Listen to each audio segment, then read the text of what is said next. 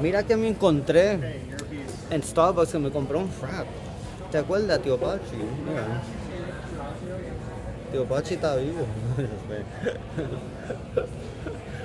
wow, you guys, I just got back from Shelbyville, Kentucky. And Shelbyville, Kentucky votes Democrat all the time, but Shelbyville, Kentucky is not happy with Joe Biden's progress, you know? We in Shelbyville, we really, really don't like his con there. He lies to us, he plagiarizes all the time. He doesn't come to the state of Kentucky. He has not done nothing for the state of Kentucky, you know.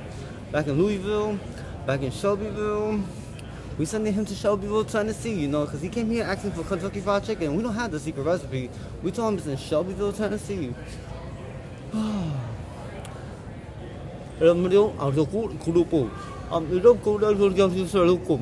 Um, is done already, but happy to everybody. Um, Lombró, Lombró abriu o fogo, abriu aquele Lombró, abriu, abriu o fogo, abriu o fogo no lume, abriu o fogo no lume, abriu o número no lume, abriu o número no lume também, abriu o número no lume, abriu o brinco, abriu o brinco.